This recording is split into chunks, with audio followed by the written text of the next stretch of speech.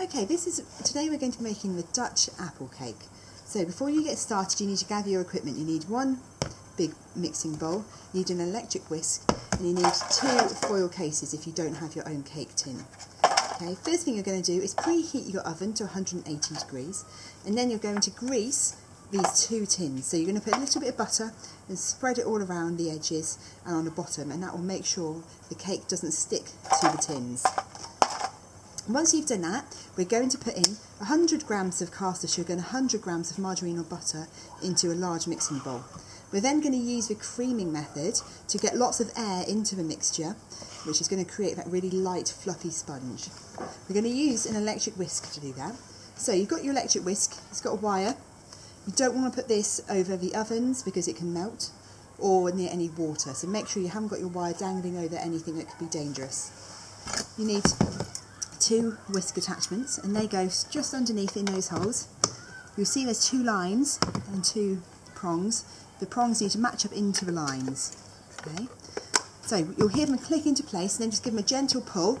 Check they're not going to come out because if they're loose they could fly off when you're trying to start mixing. Okay. Before you turn it on at the plug you need to make sure that it's set to zero because if you plug that in, turn it on, it could whiz round um, before you've started.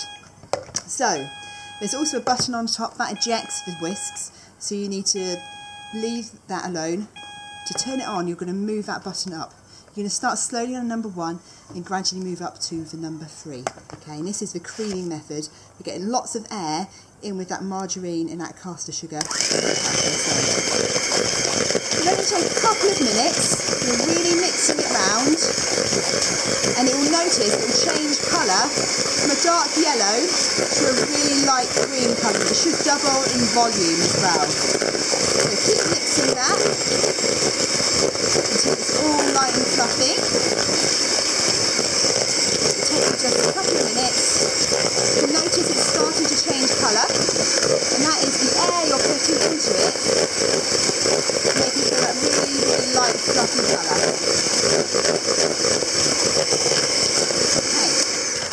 As you can see, that's now gone into a real pale colour. It's doubled in volume. It's really light and fluffy. Next, we're going to add in two eggs. We're going to do one at a time to make sure it doesn't curdle. So crack one in using the knife. Again, mix that with your electric whisk. Mix until it's all incorporated. Make sure you get any butter off on the sides. Wait until it's totally stopped before you pull it out. If you pull it out and the whisk is still on, it's going to spread your cake mixture all over the table. Another one.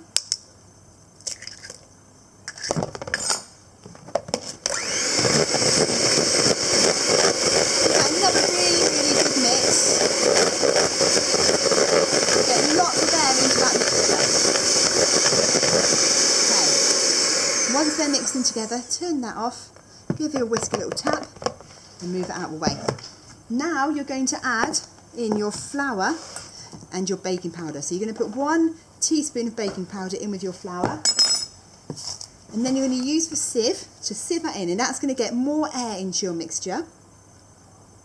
So you're going to pour that into the sieve and to use the sieve you just gently tap the sieve on your hand. You don't hit the sieve because that will send the flour everywhere.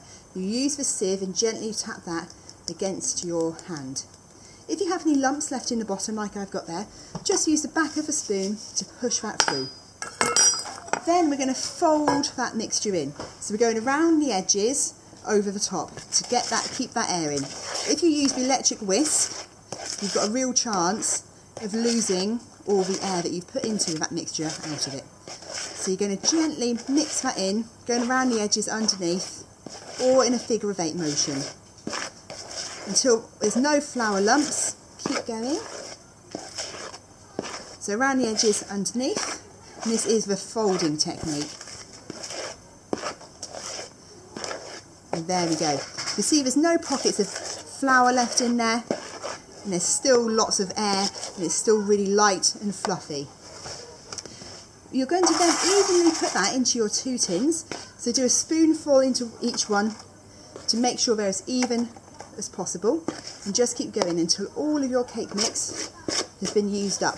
You don't want to overfill them because they're going to rise and double in size. If you overfill them, they'll rise too high and they'll spill all over.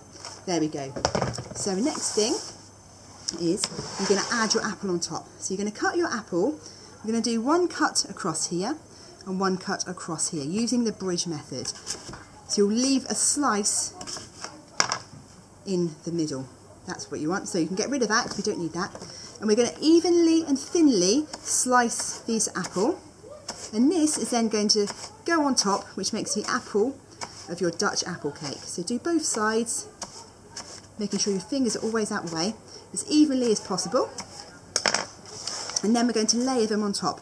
Start at the back, and then we're just going to gently layer that apple all the way down the middle. Okay. If you want to get more creative, you can do a pattern. That is totally up to you.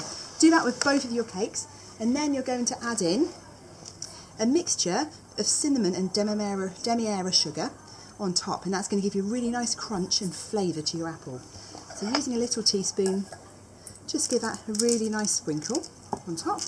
Now we're going to put that in the oven for about 20 minutes. Once that's done, you will then have two cakes come out looking like this.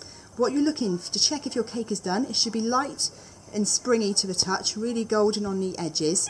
And you can use a little cocktail stick to put in, pull out, it should come out clean. If your finger sinks when you touch it, it's not quite ready. Put it in for a few more minutes.